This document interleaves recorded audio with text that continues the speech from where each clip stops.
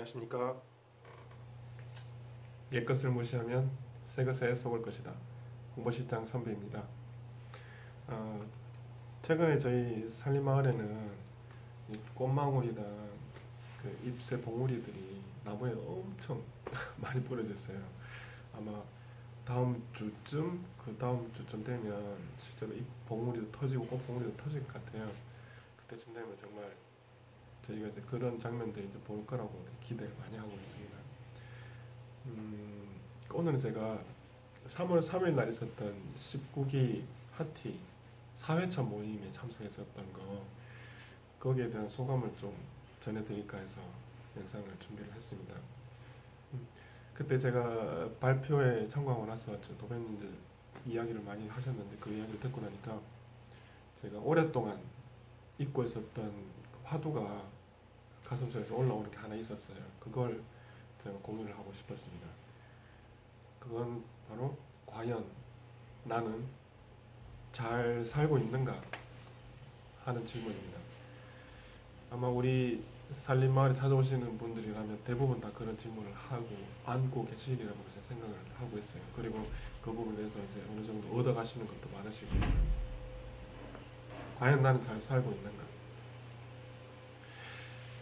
그러고 보니까 어제 462기 깨기 경축이 있었거든요. 바로 어제. 바로 몇 시간 전이네요. 그때 이제 광우님께서, 광우도마님께서 말씀하신 게 있어요. 그깬 소리를 하셨는데, 저는 정말로 열심히 살았습니다. 하고 이제 외치시더라고요. 예. 그게 굉장히 가슴에 많이 와닿았어요. 저도 정말 열심히 살았거든요.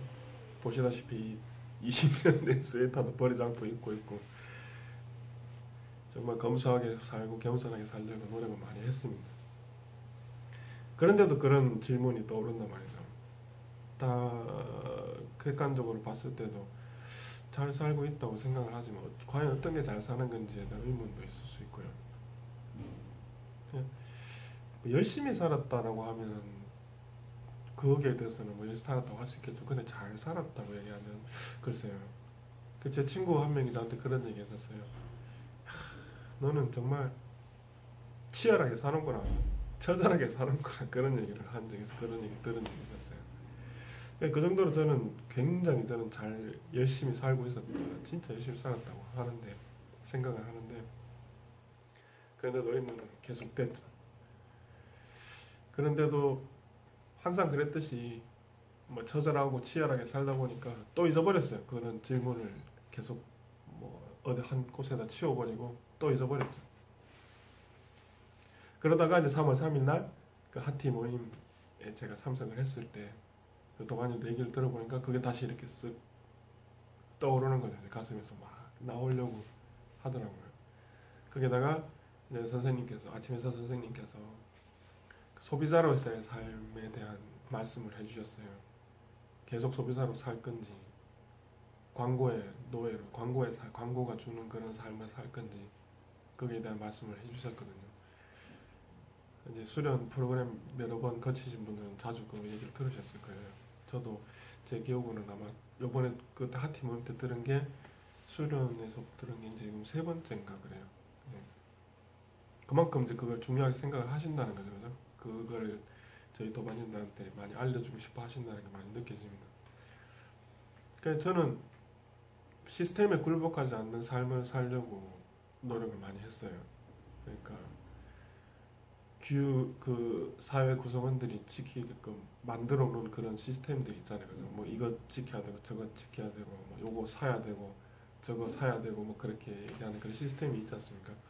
그런 것을 곰곰이 잘 생각을 해보고 내 삶에 맞게끔 그내 자식들이 나중에 제 아들이 커서 살, 사는 사회에 도움이 될 만한 것은 따르고 그렇지 않은 것은 거부하는 그런 삶을 살려고 나름대로는 노력을 했다고 생각을 했었어요.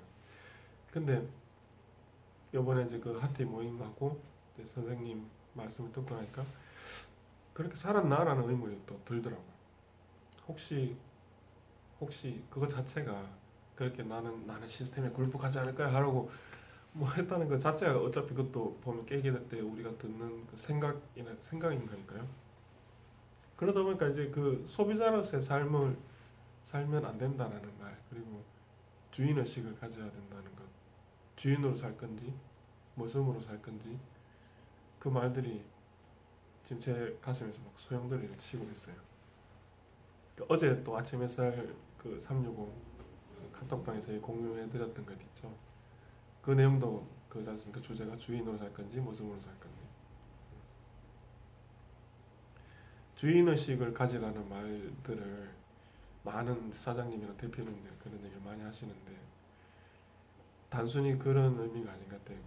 그러니까 좀 의식 수준이 낮은 사장님들은 그 주인의식을 가져 이라면서 얘기를 하시는데 대부분은 내 가게인데 직원인 네가 마치 너 것인 것처럼 깨끗이 청소하고 뭐 매출 올릴 방안도 생각 그렇게 하라고 하잖아요. 근데 그거하고 그 아침에 선생님 얘기하시는 주인의식하고는 급이 다른 거겠죠? 그러니까 뭐 단순히 어떤 가게나 장소가 장소에 대한 주인을 얘기하는 게 아닌 거죠. 나에 대한 주인. 내, 나, 나를 이 세상에, 이 사실 세계에 나타난 나에 대한 주인으로서 내가 어떻게 살 것인지에 대한 그런 얘기를 하시려는 게 아닌가 많이 생각이 들었어요. 많은 느낌이 들었고 그게 또 지금 소용돌이를 치고 있습니다. 제가 이번 달 말에 저 살아가기 수련을 들어갈 거거든요. 그 프로그램에 참가를 하게 될 건데 그러면 그때 또 그 의문 이런 지금 제가 하고 있는 이 의문을 안고 제 수련에 들어가려고 하고 있어요. 그러면 답을 조금 답에 한 걸음 더 나갈 수 있지 않을까 그렇게 기대를 해봅니다. 참 제가 저번 동영상에서 그런 얘기 했었잖아요. 우리 프로그램에 대한 게 이게 아, 참, 참 괜찮은데 참 좋은데 어떻게 홍보를 할까 생각해 보면 결국은 이게 이렇게 상품 후기를 전달해 주는 게 제일 좋은 것 같아요 정말. 저번에 제가 말씀드렸던 것처럼 앞으로도 이제 제가 뭐 잠깐 수련에 들어가든 실제로 그 수련에 참가를 하든 그런 후기들 될 수 있으면 좀 자주 올릴 수 있도록 노력하겠습니다. 감사합니다